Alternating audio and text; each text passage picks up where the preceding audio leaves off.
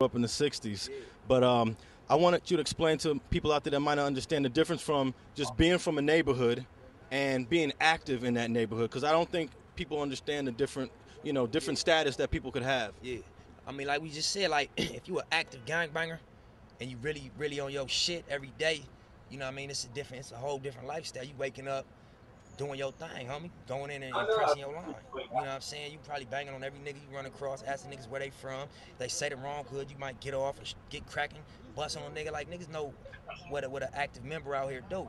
Now if you just, if you from your area, whether you from it and you never been active, whether you've been active before and you fell back due to whatever reasons, you know what I'm saying, and you moved on to something else, which is my scenario. Like I do I do music. I'm chasing a goal. I'm, I'm pursuing I'm pursuing my dream. So, you know, I mean, I'm realistic with myself. I see the steps you got to take, in the, in the work you got to put in, and that's what I do day to day. So it's certainly possible to be from a gang and not engage in criminal activity. Most definitely. But I mean, some of the laws in California have been twisted to where just being from a gang is the crime. So, you know what I mean? If you're around your homies and your homies, your, your hood happen to be under an injunction, being around each other is a, is a violation of, of, of you know what I'm saying, a, a, law. So in some circumstances, they creating laws to, to bear something that beforehand wouldn't be illegal becomes illegal just because of your affiliation, like gang enhancements for your crimes. Now in 2003, your neighborhood was actually hit with an injunction. Uh, how did that affect people you know and the people that lived in that neighborhood? I mean, it had a, it had a, a, a, a immediate effect on, on, on, the people that was placed under that injunction, whose names was on it, and um, it made it to where, like I just said, like something that beforehand was was perfectly legal became illegal just based on they, they filed a complaint and you know I mean now they got jurisdiction to take you to jail because you got a white t-shirt on or because you got a phone in your hand or because you're hanging out with two people you grew up with your whole life. Now at the same time, it is a, it's a violent history from all gangs in, in, LA. You know what I'm saying? But like we said before, we not the we not the cause of that. We the we the we the, the effect. You know what I'm saying? We we just adapted and, and, and took up a survival instinct. You know what I mean? So motherfuckers should have some type of consciousness of that when they create these laws and when they police our area. Okay, y'all, that's just to kind of get the ball rolling, right? To get you to uh, start thinking about gang injunctions and how they affect our communities, specifically brown and black communities, communities of color. Um, and there's reason behind all of that. So we're gonna have our guest speaker today um, really speak to that. Um, and I'm gonna encourage all of you as always to take notes, to be active in the in the chat box, keep the chat box open. Um, and, and then be ready for conversation, for dialogue after. So be ready with your questions, be ready with your comments um, so we can engage in, in dialogue, okay, y'all? So um, I'm gonna go ahead and let me just check for just a second here. Uh, let me see. Chavo, you with us before I introduce you? Francisco.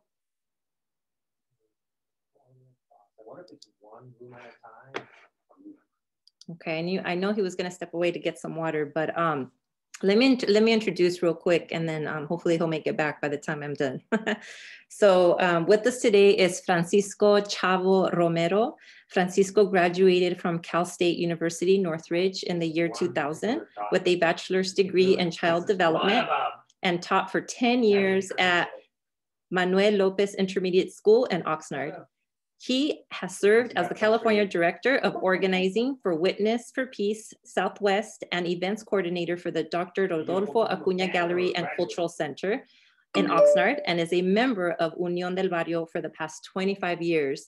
So with that, welcome um, Francisco, welcome Chavo. Um, thank you for being here with us today. Um, I know that we have some visitors as well from the cyber world out there in addition to our students oh, okay. that were really interested in, in this conversation today. So um, I'm really happy that you can be here with us and enlighten us with some information about gang injunctions and how they can be harmful to communities of color. So I'm gonna go ahead and hand it over to you.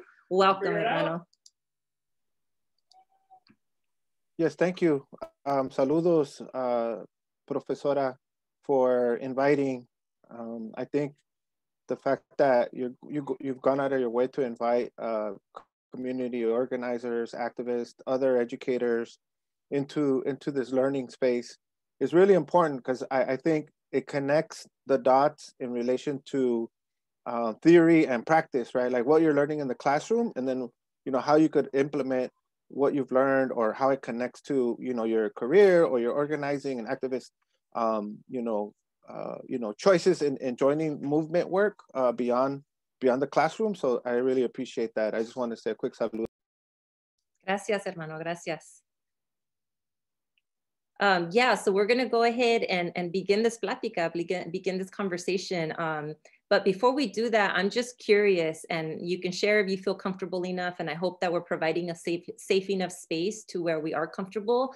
Um, but have any of you or people that you know, or maybe in your neighborhoods, have had to deal with um, gang injunctions before? And, and you can either raise your hand like this, or you can use your reaction button to do this.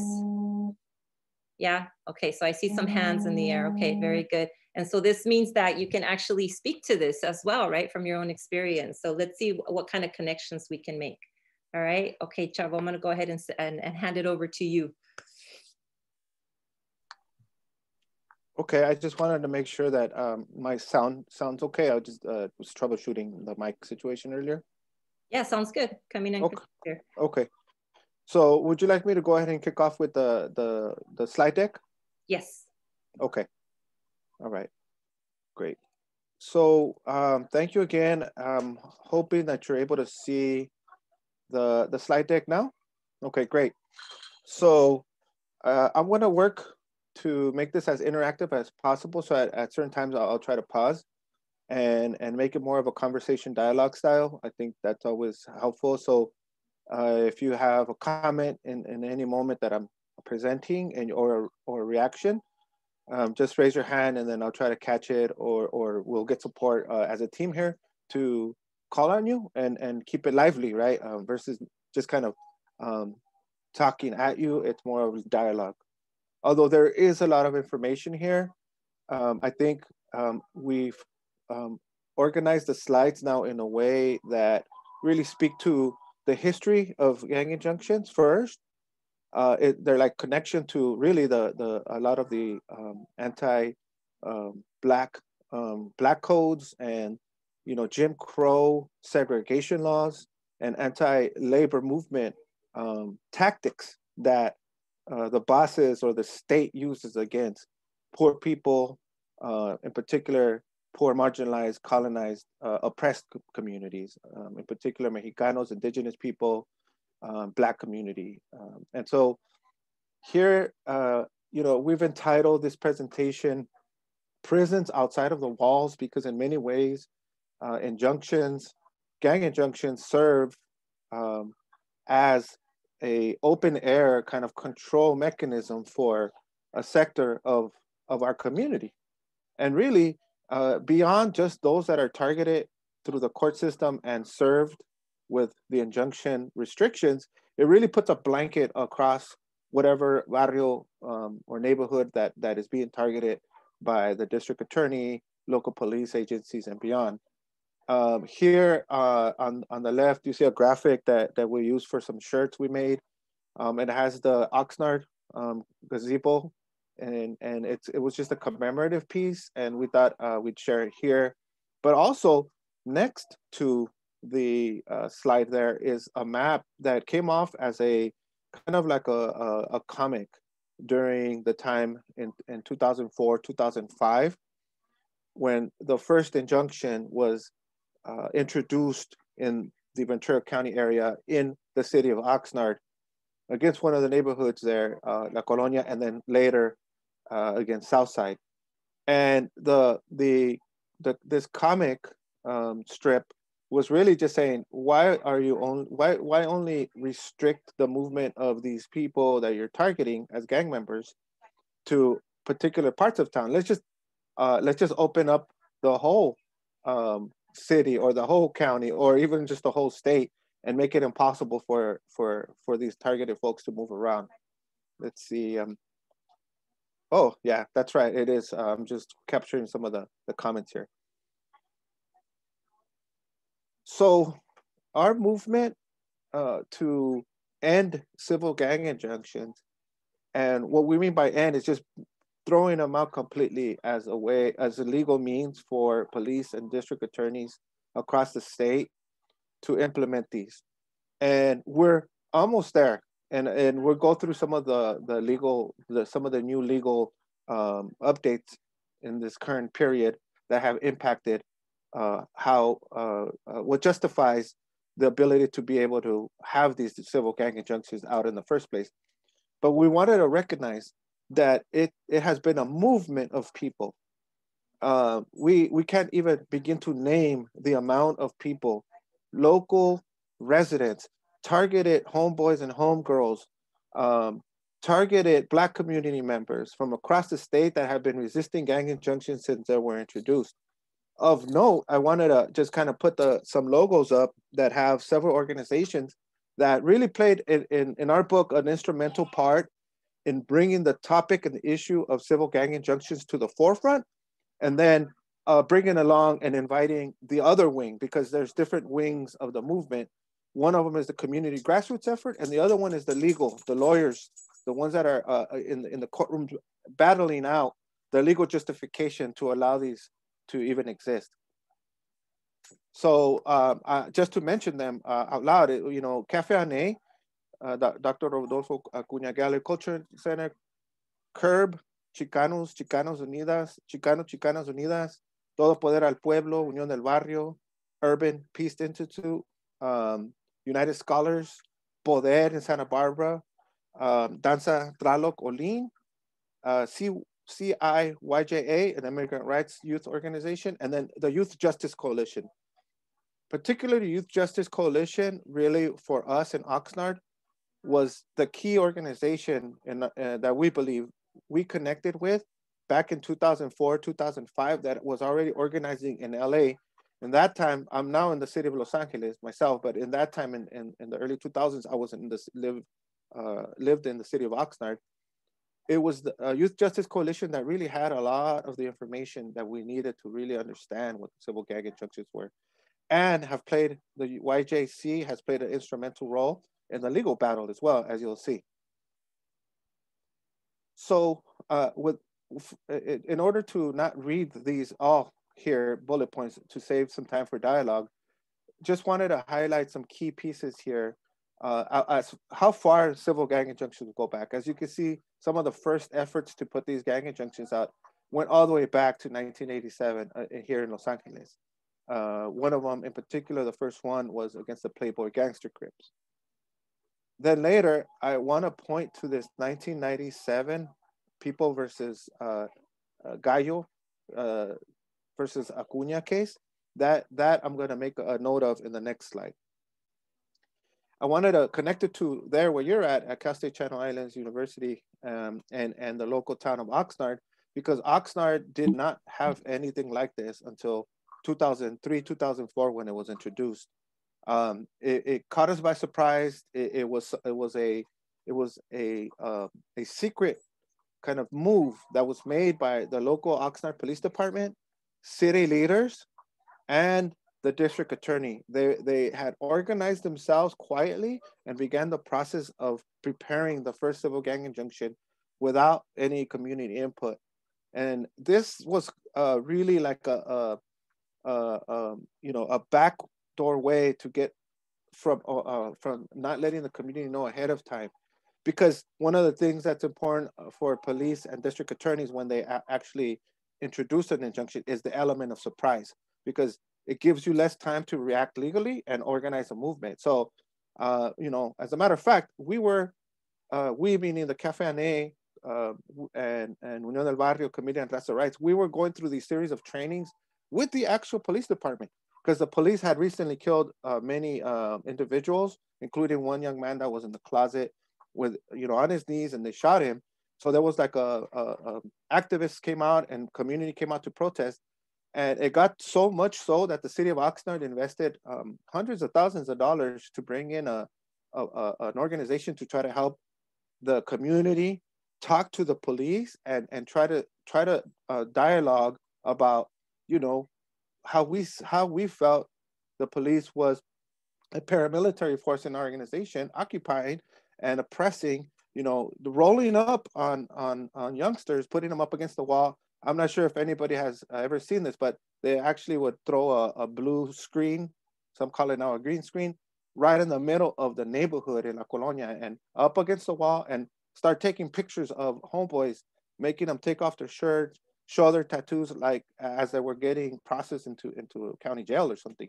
So this is the type of situation that was existing during that time. Uh, um, you'll hear my son here and coming in and out. Um, so the Acuna case is very important. This is what allows legally daddy, daddy, for daddy, for civil gang injunctions to exist. Um, give me one quick. That's Chavito, by the way.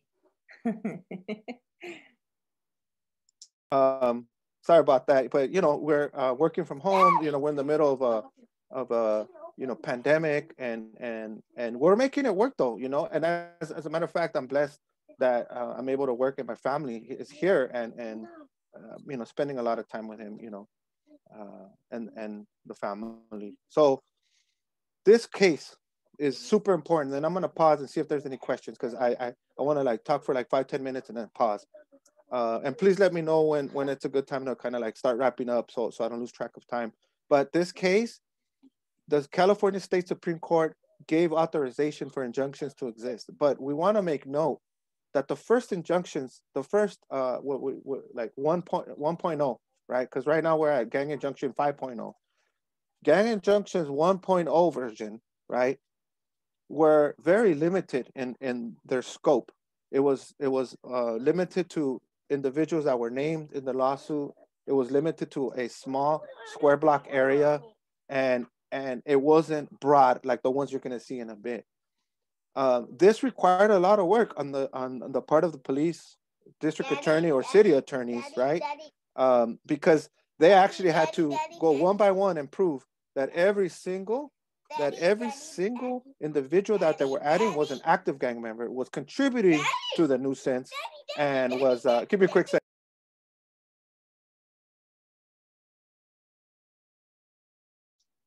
That's the life, y'all. But I hope you're I hope you're taking notes, everyone, and that you yeah yeah getting yeah. yourselves ready for discussion and questions and all that. Okay. Right on. Thank you so much for for your patience, everybody, and and your love and and empathy here, right? No um, so so so I want to pause there because this this uh this is like the the first step in um giving access to the the police uh to implement these. Is there any questions up until this point? Don't be shy, y'all. Go ahead and unmute yourselves. Let's hear your voices if you have any questions or comments. Anybody?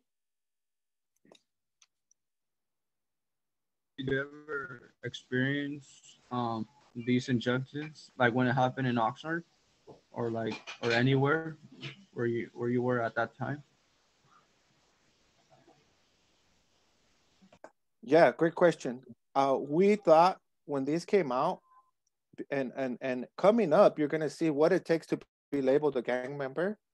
We thought that we're all gonna that m- many of us qualified to um, get put onto these injunctions, right? Because the the criteria was so minimal that so many people that we knew uh, could be thrown into that category of gang member. I think we believe that because the movement was so strong, that the police and the district attorney and city attorney had to take a step back and think really hard about who they wanted to add versus just kind of blanket add folks right off the bat. Uh, but uh, me personally, I was not served. The, the way we found out about this injunction was a surprise press conference that the police had with the district attorney and city officials uh, there in Oxnard. Then we got a call from the media. As a matter of fact, it was the media, the local Ventura County Star, that called us called, called me because during that time, uh, Committee on Raza Rights, we had a big campaign called Stop the Militarization of Our Community campaign, where we were saying we didn't want AR-15s or tankers or anything like that in our neighborhood. Um, and, and so they said, they said, let's contact this organization, speak to Francisco and get a quote. And I knew very, I knew a little bit about injunctions at that when they called me. So I was able to comment. But once I hung up, I started calling around and asking people, what is this in a deeper way so we could organize ourselves. Then, because our name was published in the paper, a lot of the homeboys and the homegirls that were getting targeted started calling us or their relatives, right? Their parents because juveniles were served, and or uh, you know people that were actually served like directly, they started coming to us and they came with the actual paperwork and you know it was like uh, about that thick. It was about a thousand pages. They they would give the police would show up to the people that were targeting and would hand it to them. So they called us. We went to the Cafe Ane, um, Dr. Uh, Rodolfo Acuña um, Cultural Arts Center that was formerly there on A Street. It's not there currently. Um, and so, so people started, we started having community meetings with everybody that was specifically targeted because it, this movement is led and was led by those that were targeted. You know, they were the ones that were in the front line. We were, we were supporting them. So that's a great question. Okay, uh, maybe I'll proceed and I'm gonna go a little quicker because uh, I wanna make sure we get to some of the, the, the updated slides. So, you know, what is a gang injunction? So a gang injunction is actually a, a restraining order that prohibits uh, gang members uh, named or as an unincorporated, unincorporated association from participating in certain activities. It is based on the legal theory that gang activity constitutes a public nuisance that prevents non-gang members from enjoying peace in their communities. Earlier, I had mentioned the Acuna case. So the nuisance that was happening in the four square block area, I mean, four corner, not even four square block, four corners. It was the situation there in San Jose for, with, for the Acuna case that I mentioned earlier was where, you know, this one particular corner was where a lot of the activity was happening around drug sales and violence and it was pretty intense right?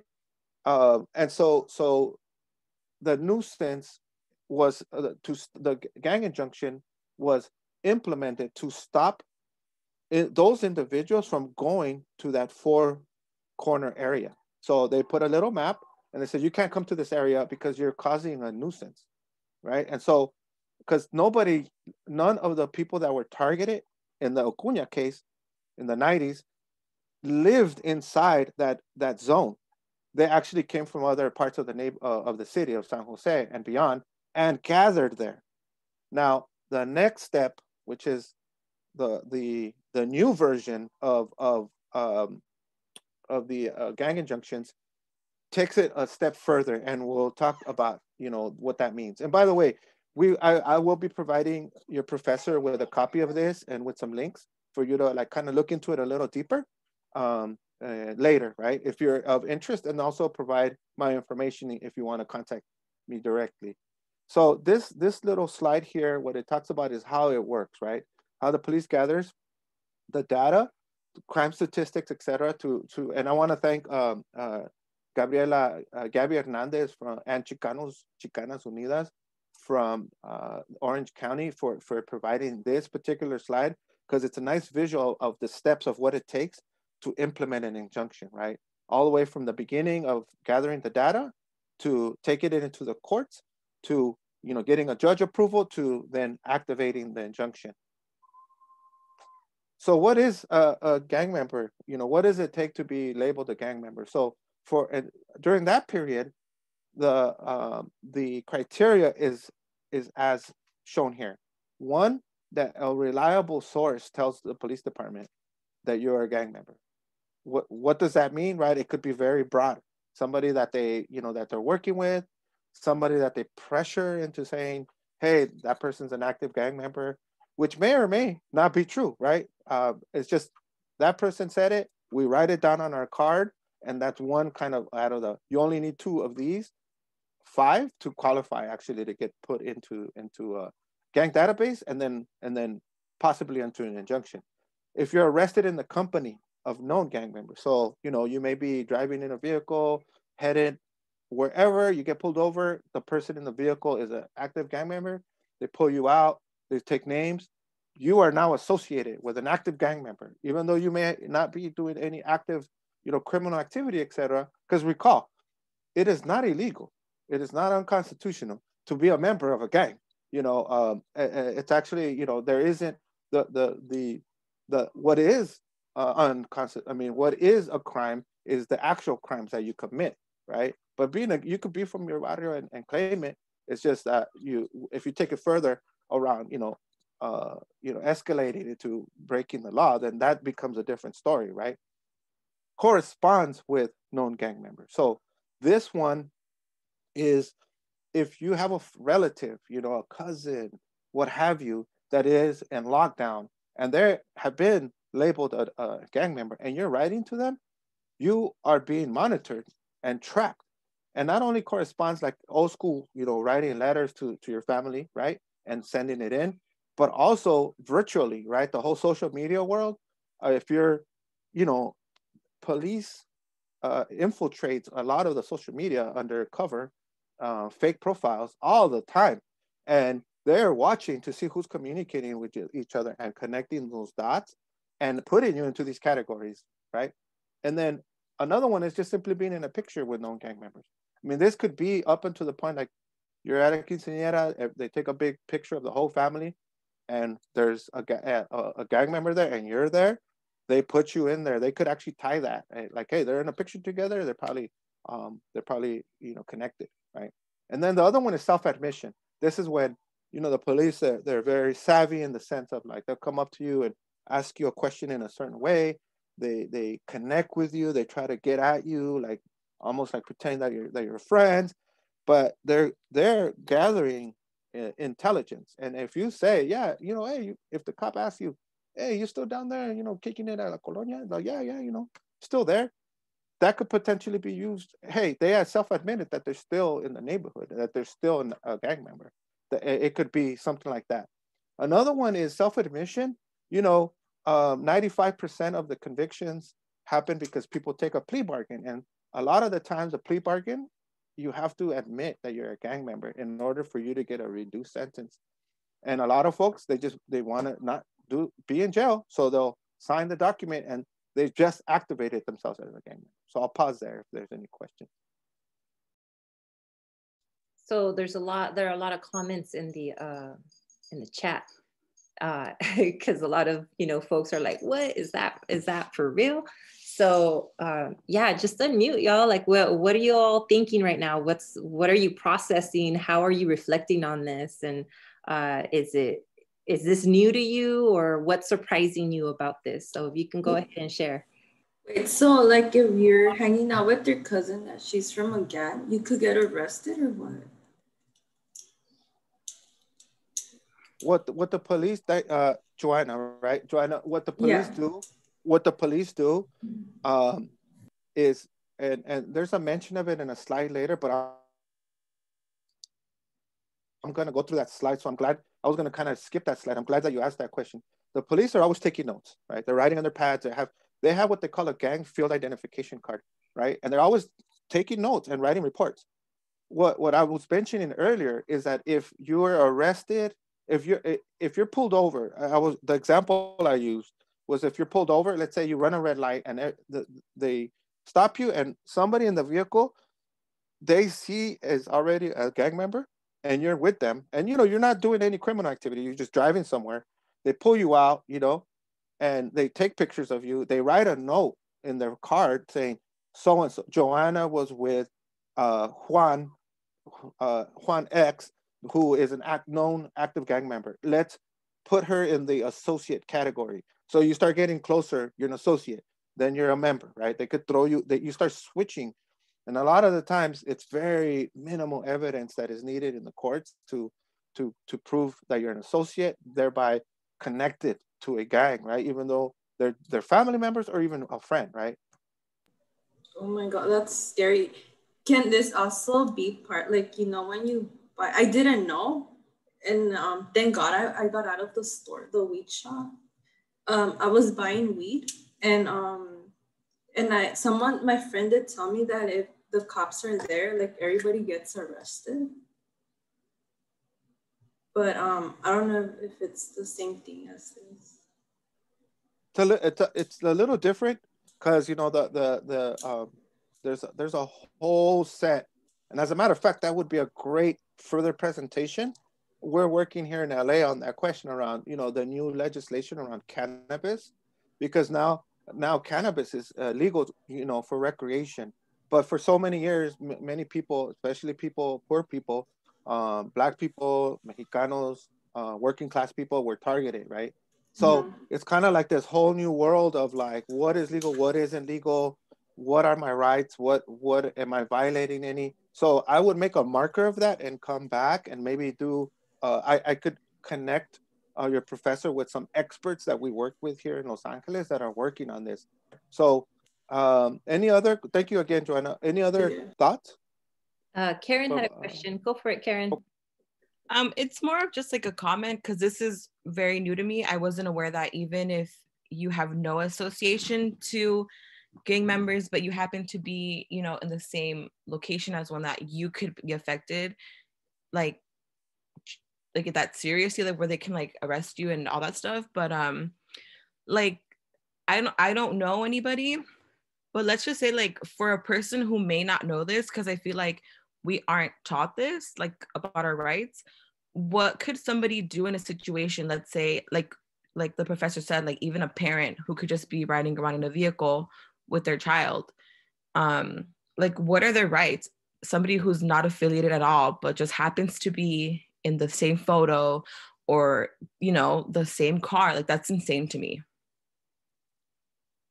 Yeah, there's a, there's also actually we have um, you know Youth Justice Coalition, and now Chicanos Unidos. As a matter of fact, one of the uh, guest speakers later in the series for for uh, your professor is um, Carolyn Torres. Um, she's going to be talking about politics and elections, but she was deeply connected, and it continues to be connected to Chicanos Unidos, which has and Youth Justice Coalition, who have legal clinics.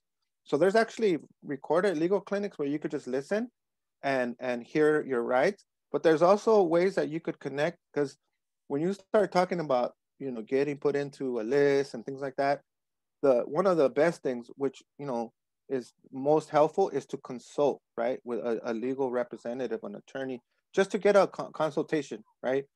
And and they guide you through because it's a very slippery slope, the whole legal matter. So I we always recommend that one you brush up and learn and, and connect with people that have that information around your legal rights but also if it gets to that point that it's serious to consult with an attorney right because the attorney is really the only one that is legally uh, able to give you advice right like our recommendations are simply recommendations at that level uh, but when you start talking about the risk of being deprived of your rights in any way meaning like you know getting on probation getting put in jail, um, you know, things like that, then, then that, that elevates the situation. So um, hopefully that, that gives uh, a little bit of context.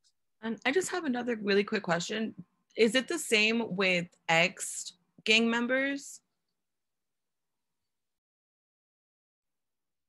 That's the thing, right? Um, the thing is, who decides that that you are an ex gang member? According to the police and, and the injunctions as they were written, because at the end of this presentation, going to talk about some of the updates. You pretty much were in this junction for life. And, and there was no way to get out of it. And, it was very, I mean, th- there was a way, but it, that was, that one of the avenues was virtually impossible. The other one was for, as far as gang injunctions was for you to move, right? And which was part of the plan. Maybe, maybe what, uh, I think there was one, maybe we could take one more comment because I think we have about uh, 25 more minutes or Oh, so. wait, Professor. we're, Um, we're good with time. I think Oh. Brittany was next. Is that you, Brittany? Um, no, this is Miriam. Oh, um, Brittany had her hand up. So let's have, Oh, okay. uh, let me see, hold up. I think she might be. Yeah, Brittany, if you want to go ahead and unmute. I know you've been waiting. Oh yeah. Um, can you hear me? Yes. Okay. Um, yeah, I mostly just had a comment um, about that.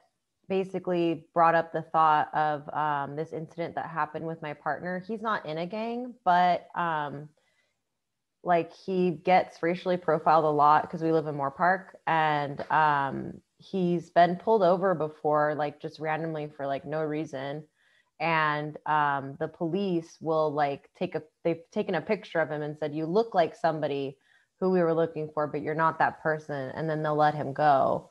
But i it just made me think of that because you talked about how um, police will take pictures of people and i don't think that like in my mind i'm like that can't be legal. So i'm wondering um, if you had any comments maybe about how he can kind of um, counteract um, him being racially profiled, I guess, by the police in an incident like that, or how somebody could do that? It depends. Uh, that's an excellent question. Some people choose to just, you know, let it go, right? Like I am not going to engage. Some people choose to engage. Uh, one way to engage is to publicly put it on blast, right? Like go on the record, um, put it on. Hey, this cop is, you know, kind of like put bringing some social media attention to the issue. So, so then the police are like, whoa, this person is like, you know, making some noise around this. Let's not, let's not like, let's not ruffle that person's feathers too much, right? However, that could result in retaliation. You know, um, it's very, very well documented that if you speak up, there's there there's forms of retaliation in many ways. Some of which you know I personally have experienced there in Oxnard. Um, but the other thing is there's quote um, what, what I guess uh, official mechanisms for you to say something. Each city police department has a complaint form process. Now, some people are like, I'm not putting a complaint form in because then that puts me on the radar. Some people are like, I'm already on the radar. I want to document that this is happening. Because the more people document officially that, that about one particular officer that continue or several that continue harassing, the more it comes up on their own files, right? And when the case gets to court or something like that, they'll be able to like, how many police complaints does this cop have? They'll say zero. They're like, then he's just a great officer, right? where where the reality is might be totally different where they they're just because there is no written track record of it to prove that there's a history of this uh, racial profiling uh, harassment um, terrorizing even because sometimes they just terrorize and scare you right so i'll pause there um, and and maybe maybe this would be a good point because um, maybe what i would like to do is go through the next series and then and then pause again and then maybe end with that more, a little more of that dialogue, because I think some of the questions that you're bringing up might be, or you're thinking might be addressed in, in some of the other um, slides. Would, would that be a good idea? It, sound, it sounds good. Let's do that. Okay. And maybe we'll do it twice, right? Because um, sure. uh, I see that we, we have some time. Yes. So what has happened? So when we came out against the injunction, people were like, well, why are you protesting this? Do do are you on the side of gang members that are causing problems and you know dealing drugs and killing people right i mean people attacked us we said what we're against is the process of which you're blanketing everybody and we're also saying to you the, the police department the city officials the judge that a lot of the things that you're restricting are already illegal so if you know if, if you know, most most folks would would test the test to the attest to the fact, including those that were targeted. We're like, hey, you know, if I'm a person that is um, committing some sort of crime and I'm arrested, it's proven in the courts, etc., then then I, uh, I'll I'll pay my dues to society. I'll do my time. I'll pay my fines, whatever. However, what the injunction does, what the injunctions did was mask already illegal criminal activity on the books with things that are not illegal, right? Like for example, the ones here in yellow are the ones that we say were not illegal activity that were made illegal for people, right? So for example, associating with others, right? The association clause, if you're just hanging out and there is no criminal activity happening, then what's what's happening?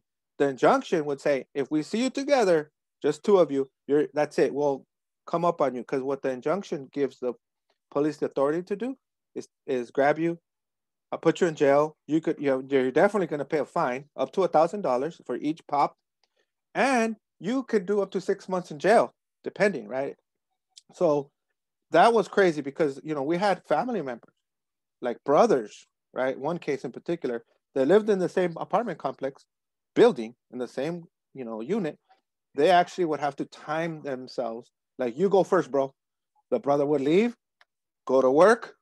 All right. 20 minutes later, all right, then I'll go because the police were outside waiting for him. And the they would go that way. And they couldn't go to the park. They couldn't go to the movie theater together. Nothing within the injunction zone, right? That's just one example. The other one is the, the clothes. You know, the Dallas Cowboys was an official jersey or logo that you could not use. And in the case for South Oxnard, it was the White Sox, right? If you had any of those and you were in this injunction, that you you would get violated, right, for um, for this um, gang injunction uh, restriction. It just so happens, as you all may know, that, that during that time, and even now, I, well, right now, just due to the pandemic, it's not happening. But the Dallas Cowboys were training in Oxnard, right? So it was like this huge contradiction, right, where everybody could wear cowboy gears if they were cowboy fans, um, and and the, these individuals could not, right? So it it outlawed that. The last one was the curfew one. That was a big one because people, if we were coming from work or going to work and you were on this injunction and you were, it was past 10, it didn't matter in the beginning. But we challenged that. And actually the Oxnard, the Colonia Chiques versus Greg Totten, the, uh, the district attorney case was one of the first cases in all of the state of California that dealt with the issue of the curfew.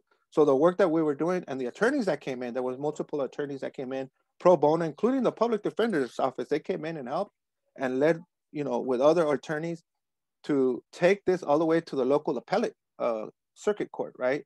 A three panel judge, right? Three judges said, hey, hey, this whole curfew, I mean, okay, some of these other things we're going to let go, but this curfew thing, this sounds of this whole, I don't know if, if in history you recall, they used to call them sundown towns.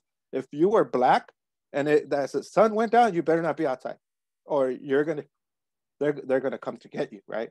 So it had similar reek of this that smell of those Jim Crow laws. So the the Constitution is supposed to be protecting you from those kind of things. I'll move quickly. Can I oh. just oh. speak on something real quick about the, of course, please. The football jerseys. Yeah.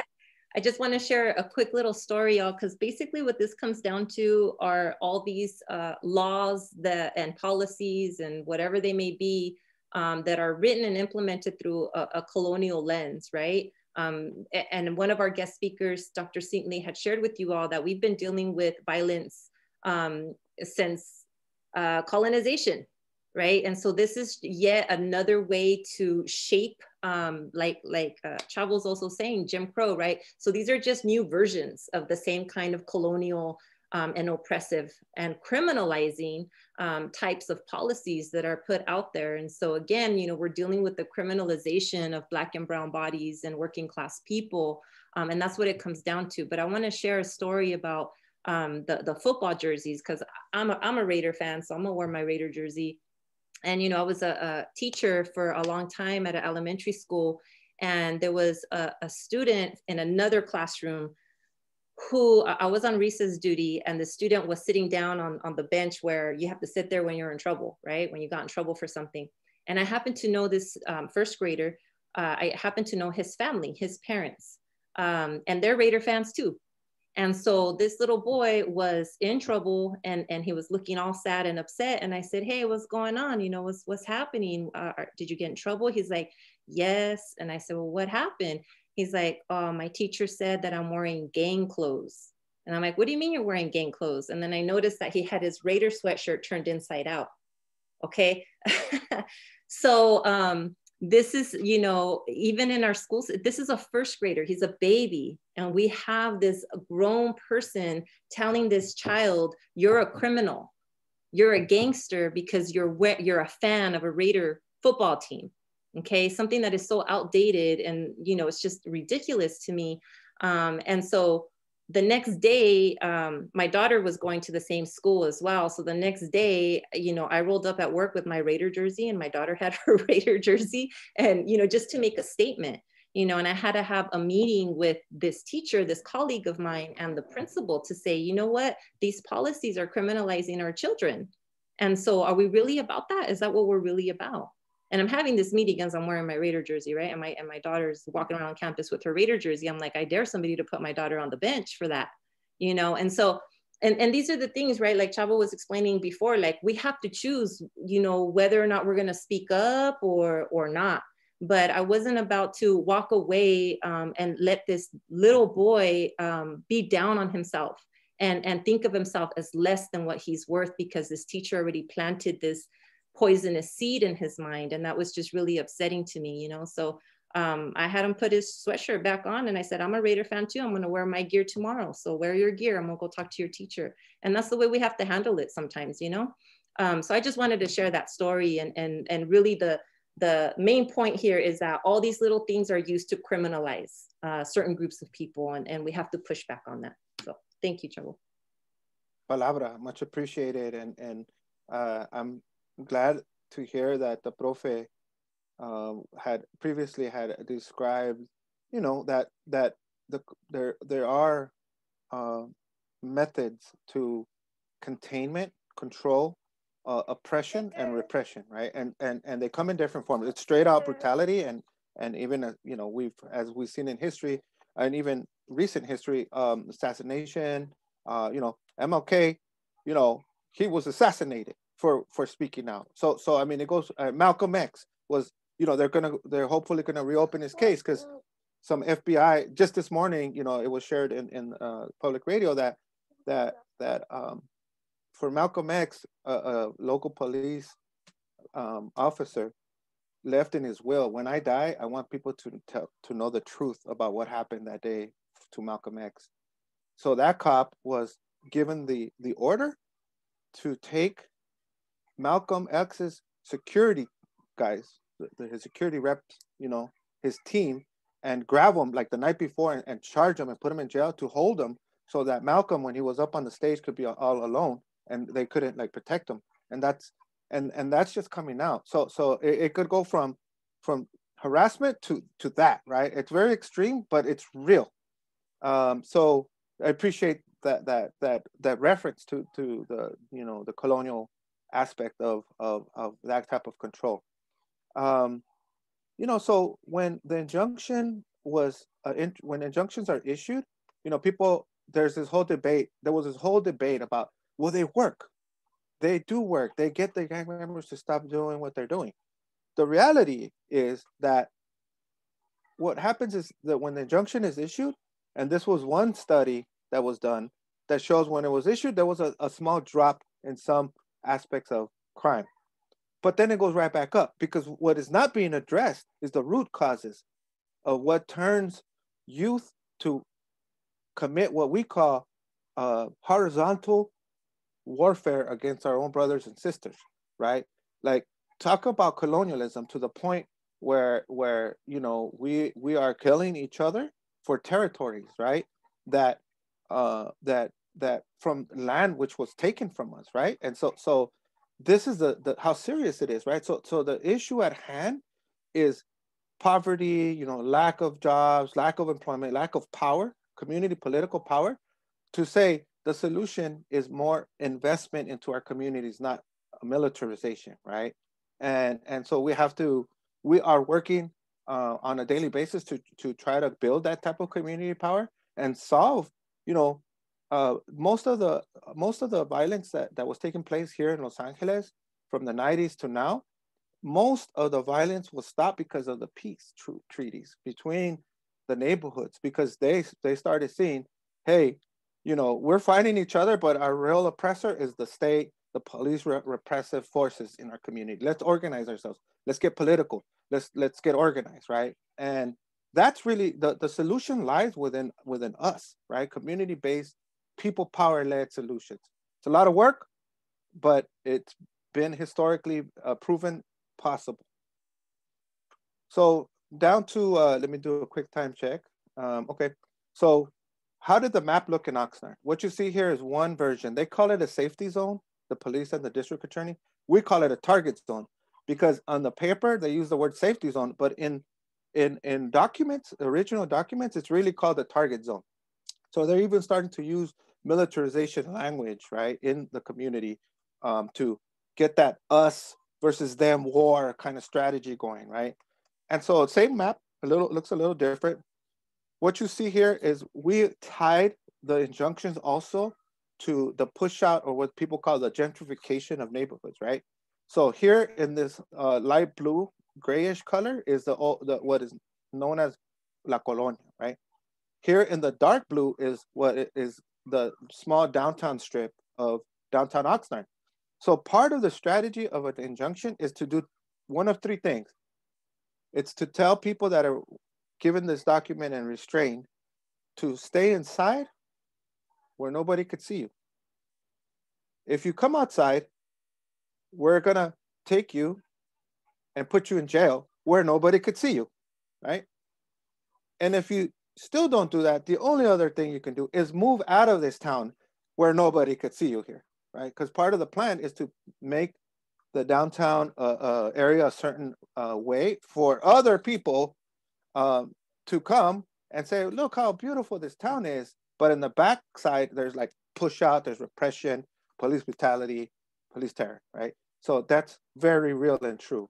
And and more and more studies, like at high levels, books are starting to come out on how these type of laws are a way to gentrify and push people out. Staples Center here in LA, where it's at, the first one of the first injunctions in LA against one of the Latino um, Centro America Mexicano uh, gangs, what they put they put the injunction zone and kicked everybody out, and then they built a Staples Center, right? And everybody got pushed out to the margins, right? And it's very real. Um, here's another map that we created using some of the census tract. So in the dark, in the really orange color is where all the Mexicanos live, right? And if you could see over here to the left, I think I have a pointer. Yeah. Here on the left, this is the beach, right? So here's all, what color is this? Blue. So it's mainly white people, right? Here in La Colonia, it's definitely, you know, all Mexicanos, right? Or Chicanos. Uh, same thing with Central Oxnard and then South Oxnard, right? This is Port Hueneme down here. So we wanted to show the two evolutions of, of the, so in the black is the bigger one against Colonia, the target zone. And in the green is the second injunction against Southside. So, you know, we wanted to put put the, the race question into play here because it's it's uh it's concretely tied to who is being targeted, right? There was not one single gang injunction against any white supremacist groups. Let's just say that. Right. Let me go to the next one. Um, just a quick map in Los Angeles, uh, the capital of gang injunctions. Uh, here's a map of all the different injunctions. At one point, there was like 50, 60 active ones at one time.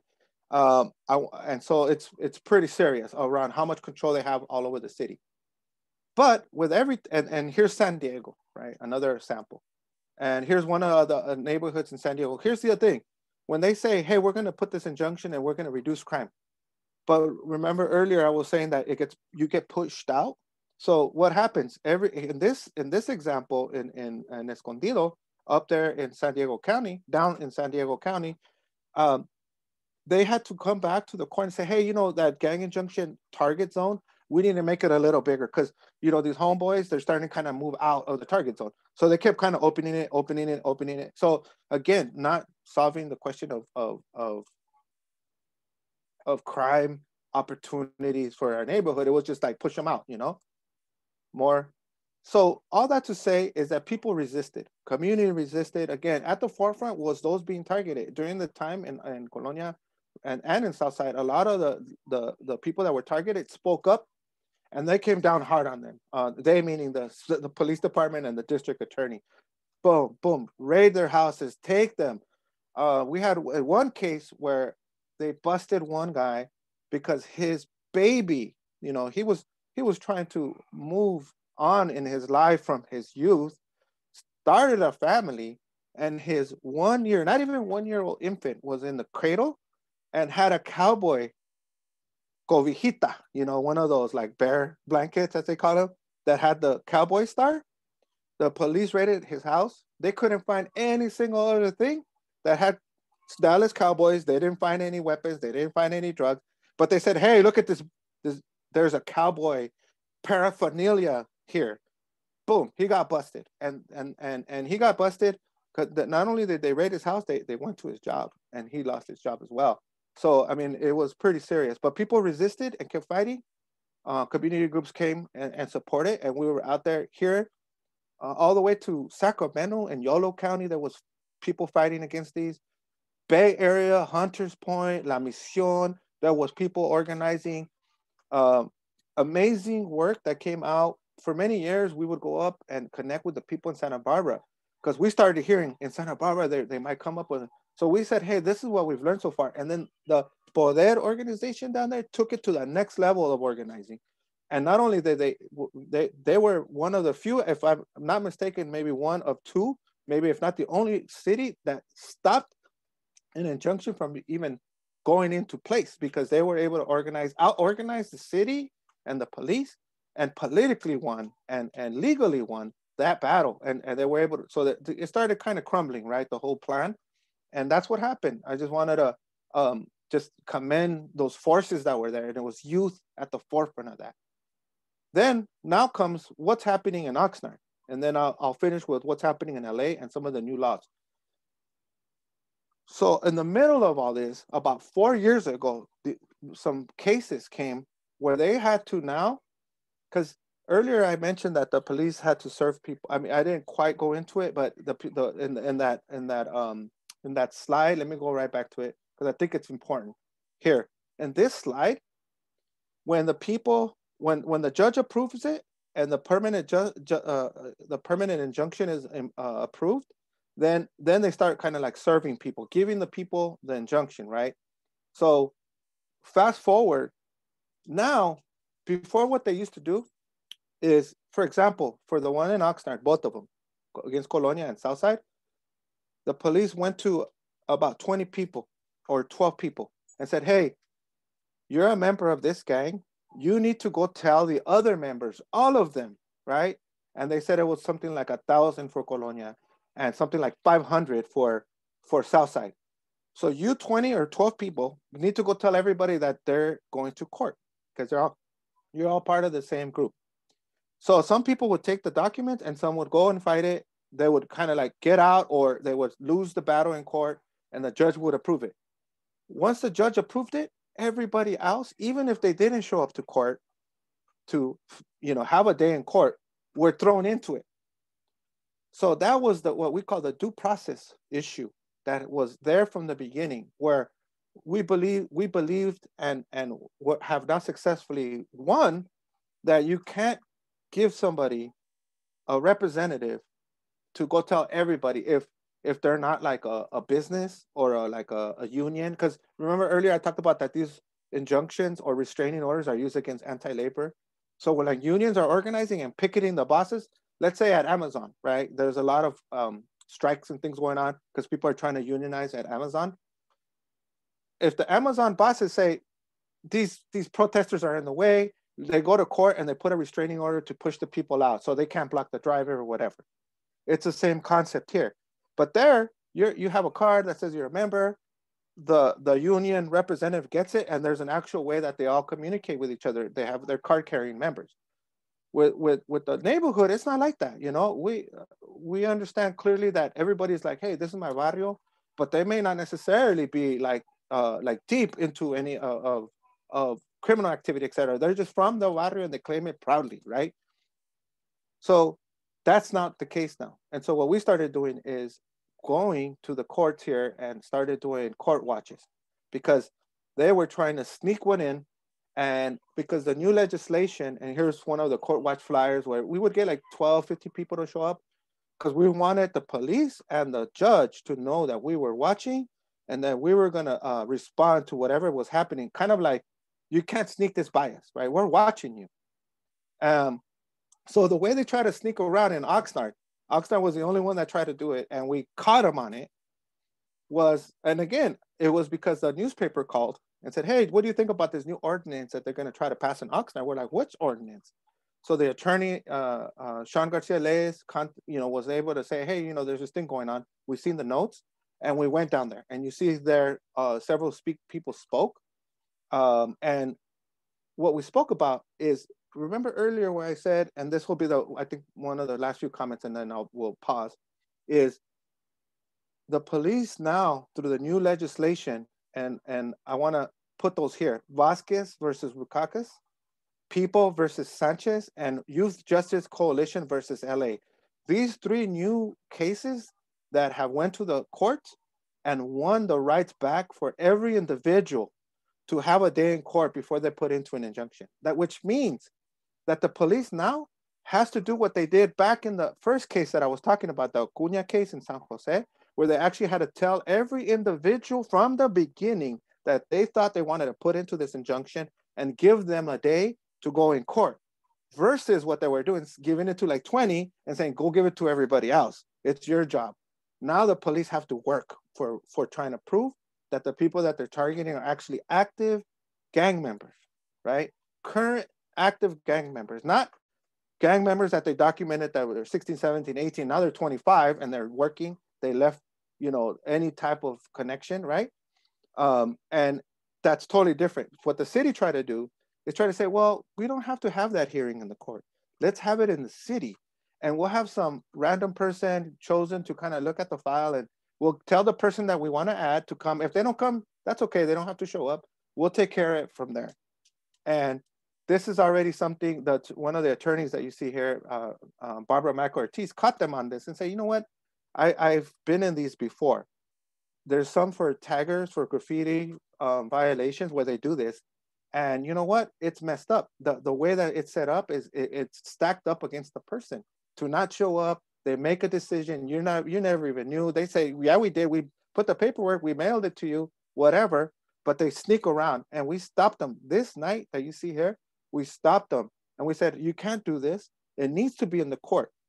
And sure enough, the council um, sided with us and said, you know, let's let's slow it down. Let's let's listen to the people. Let's talk about even if we want these injunctions still 15 years later. Um, and sure enough, once it got kicked back to the court, the police, about a year later, they threw their hands up. They said, we don't even, the district attorneys forget it. If they're gonna make us work to prove active gang membership, then for every single one, then it's not even worth it for us anymore. Because before it was just easier, right? We could just tell a few people and then get everybody, but they can't do that anymore. So that's why this is not happening in Oxnard anymore. There was an announce, announcement uh, late last year. They, they said, hey, sorry, we messed up. You know, there's no reparations. They're not talking about that yet. I think the community of Oxnard will, will have to continue that fight and say, hey, you know, for those 15 years that you did that, for each of those years, you owe us a million dollars in youth programming. Imagine that. And we're, we're going to cut it from the city budget, which you already have half the city budget anyways, right? And a million dollars is nothing. It's uh, uh, change to them, right? So imagine, you know, so there's there's potential for more movement building around this question around repairing what was done, right? And so these these case law is the ones that I want to point to. If you Google them, they'll come right up, and you could get deeper into it. Um, and I hope that you do and get into it because uh, connected to this is so many things: civil rights, right? Movement building. There's law. There's criminal quote, injustice or criminal justice. There's so many elements depending on where you're going in your field of study that could are connected to this one issue of gang injunctions. But uh, again, thanks to like, for example, one of the last case here in Los Angeles, they just, uh, the judge ruled Los Angeles must now do the same thing. So now what we're doing is making sure that all those gang injunctions that I talked about earlier, all across the state are doing this because sometimes they don't tell people. So we're going to every city. Fresno, what are you doing? Yeah, Papa. My Pokemon stickers don't last for long. they don't last for long if you if you move them. That means they're not strong anymore. Let me check it out then, buddy. I'm gonna go. I'll go right now with you. Give me like two minutes. So I want to end with that by saying that that really there's that there is a way to struggle. There is a way to organize. You can make a difference in in in making impact at the systems level. It takes sometimes it takes some uh, you know a few years. Sometimes you get an immediate win. Sometimes it takes 15 years, like it did for us in Oxnard. But you know the tools of research, the tools of legal research and legal understanding of the law and constitutionality, all those things are at play here. And also the lens of of seeing these type of, of strategies and tactics of targeting communities, particularly marginalized, oppressed, colonized communities, that if we reverse engineer and analyze the situation from that lens, that we're able to like find a path for resistance. And and and um, I appreciate the palabras. Maybe I'll take pause there. I think we have some time for reflections and comments. Yeah, I see that uh, Dr. X has his hand up for uh, for a minute now. So Dr. X, thank you for uh, joining us today. Um, you want to you want to go ahead and ask your question or comment? Yeah, yeah, yeah. Francisco, muchas gracias. I really appreciate your presentation. We're both committed to the same struggle. And uh, just wanted to add a little something. I'm, I'm really happy that you brought up San Diego. That's where I'm at. And when you're looking at the gang injunctions out there in Escondido, you know, there's a couple of them that are very problematic because what we're seeing is law enforcement is working together with immigration. So you have border patrol going on these when they're serving these injunctions, and there's collateral consequences where while they're serving or they're they're exploring or they're doing their discovery on certain homies, they also try to ask the immigration status of raza that live in the same household. So we're seeing the super criminalization of communities by looking at these interlocked police powers, right? And I really love that Santa Bruta, Santa, I was say Santa Bruta, but Santa Barbara defeated the gang injunctions out there. I heard Oakland also did something very similar. Now, my concern is we need to abolish them all completely because what gang injunctions does, it provides an avenue for legal racial profiling. And as all of you are in here learning about consciousness and, and being pissed off, the next level is what the hell are we gonna do about it? Do we sit here and let our communities fall at the hands of these draconian laws?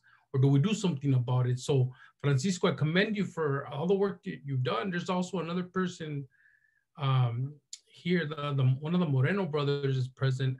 Oh yeah, there you go. And so like all of you, you know, we're, we're involved in the same struggle, you know, and uh, the, the, the question is we have to do something about it. We can just be like, oh, pobrecitos and say, oh, that's their struggle. Now, fuck that. We got to do something about it because it affects our communities.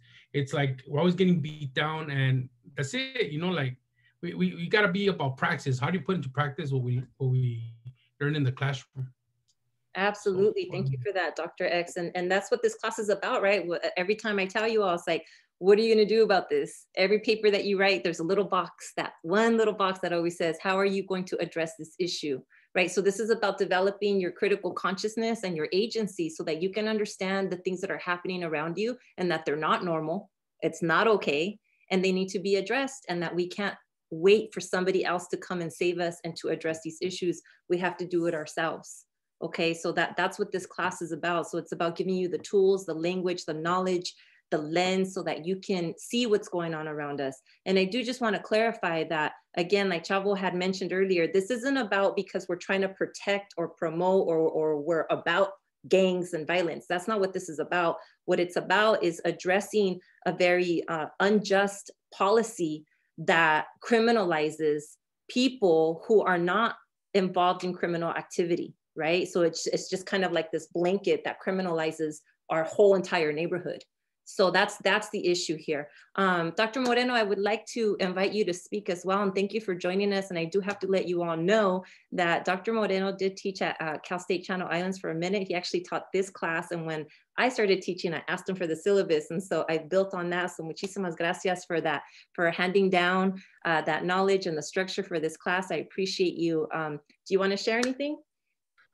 Uh, yeah, sure. Uh, I just uh, finished teaching four classes a day. Right now, I'm on I'm on East Coast time, so again, it's almost six, almost six o'clock over here. But again, it's been a long day, and I wanted to. I seen it on Facebook. I wanted to support uh, Francisco and and, and and when he talks about the injunction. Um, I, I organized with Francisco for a very long time in Oxnard. Now we're at different places. Uh, I'm glad that he was able to run down um, the injunction, but also I, am glad hopefully he can talk about the question I'm going to ask him is uh, talking about the weed and seed program because again before the injunction, we Colonia actually the neighborhood my family's from. We were under the weed and seed a federal program that actually we had ties. We found out later had ties with immigration and the FBI because of of different issue, different organizing and uh, something that happened between Francisco and the, and the police. But again, uh, you know, this uh, neighborhood in Colonia, the strong neighborhood in Colonia has been criminalized for, for since day one. Um, and again, if you if you're if you're from that area, again, you know that it's it's an area that's isolated from the downtown area by packing houses at one time, and that one time majority of our culture film. So again, it's a strong Mexican neighborhood, but it's been criminalized. And again, the city continues the different policies to use throughout the history. And the reason I, you know, I spent, um, oh, I spent over a decades actually writing about it and still writing about it. And this is why I have the the uh, via via Oxstar in the behind me here. It's, it was one of the down. I think it's actually on off uh, C Street. I think yeah, off C Street in an old part of downtown. But again, um, I think um, the points that Francisco raised are great. I think it's important to organize, to be proactive. Again, Uh, thanks to the local newspaper that continues to contact us to inform us what's going on because again, uh, they like to organize in secret. And now we know again uh, all about how these injunctions work. And uh, Francisco's been doing a great job advocating not just here, but also uh, into, well, nationally and actually in California. That's it. Absolutely, absolutely. I second that. Thank you for those palabras and being here with us. Um, we want to hear your voices, students. So go ahead and unmute when, when you're ready and uh, give your comment, ask your questions. The floor is yours.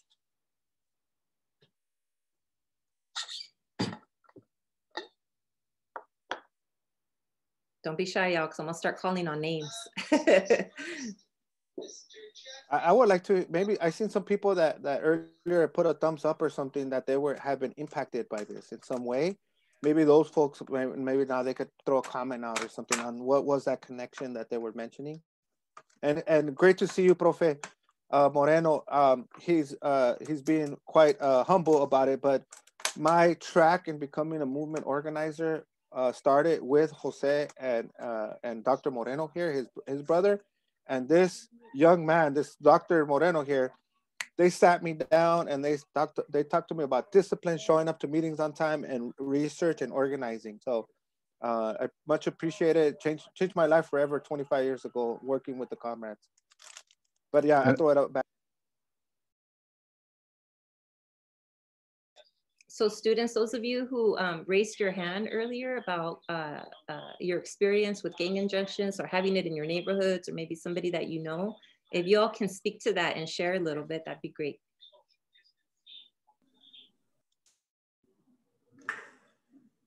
I mean, I live in the project, so like we see this every day. And um, like you guys were saying about the Raiders shirt, like I'm also a Raiders fan, and um, I can't wear my jersey because like I'm scared because I can get jumped or something.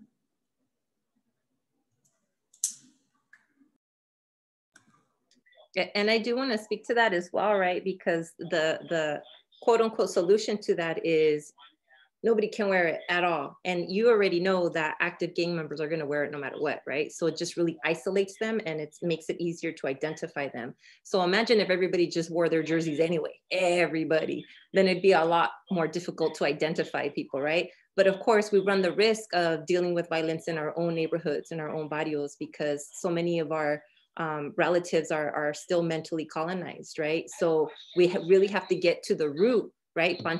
Get to the root of the things and talk about what is causing the poverty that leads into gangs. What is causing all of that? Why does this even happen in the first place, right? And if we don't get to the root of it and we're just really dealing with um, the effects of it, like Nipsey was was explaining, then we're never gonna get anywhere, right? And, and and the whole fact about like, well, just stay in your neighborhood, stay out of sight. It's because out of sight, out of mind right? If we don't see you, then we don't have to address the real issues. We don't have to address what's really causing this to happen. Um, so just you have to look at things through a critical lens to really understand why certain things are, are taking place while other things aren't, like addressing the root of the problem, right? Um, Karen, you wanna go ahead and unmute or Enrique? Thank you for your comments. Yeah, I was just wondering, um, personally for me, I think it's always the I don't know where to start, you know, to like actually help and make a change. So, are there any events? I know because of the pandemic, it's probably going to be like more Zoom or something, but that we can join um, just to for me to further educate myself and like what I can actually do to like join. I don't know, sign petitions, whatever it is that I can do to do my part. I, I would, I mean, I always um, advance and promote the organizations I follow or I'm a member of. So if you have social media, I would immediately recommend uh, Unión del Barrio. Then I, I definitely would recommend Chicanos, Chicanos Unidas. So if you look them up, I think it's X with an X on both ends, Chicanex uh, Unidos the Orange County. Uh, Youth Justice Coalition, YJC. You can follow them as well. There's related to this topic, right? Because there's multiple uh, issues out there that we're all organizing around, but related to this topic in particular, those three come to mind. Um, Californians United for the reform of budget, CURB, C-U-R-B. Um, that's also an, another good one. So if you start following, you'll see that they'll start posting events. Hey, this event is happening, that event, is, and, and a lot of it, all of it mostly is all virtual right now. And, um, and so you'll be able to at least, you know, plug in, get yourself on their list, be alerted and show up to some of their virtual meetings. That's how, that's how I started. I mean, somebody said, Hey, there's a MEChA meeting. You want to join? I'm like, what is MEChA? I don't know what that is. I didn't know when I started. And that's kind of what got me started, you know, and, and the Movimiento Estudiantil Chicano de Aztlán. I was like, all right, I showed up to my first meeting, 1994. And I was like, wow, I want to be part of this. And that never turned back since.